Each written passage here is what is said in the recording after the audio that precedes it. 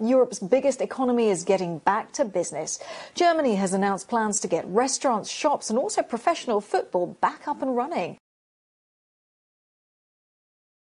Already, some shops, hairdressers, and schools are open there, and it's one of several countries that has started easing their lockdowns. But Germany is, in fact, going further than most, and this is why. Germany has around 167,000 confirmed coronavirus cases. The recorded death toll, though, is under 7,000. This is much lower than the figures in the UK, in Italy, France, and also Spain. So now Angela Merkel is starting to navigate Germany out of its lockdown. And she has made a deal with regional leaders, which means social distancing does stay into June. Face masks must be worn in shops and on public transport until then too.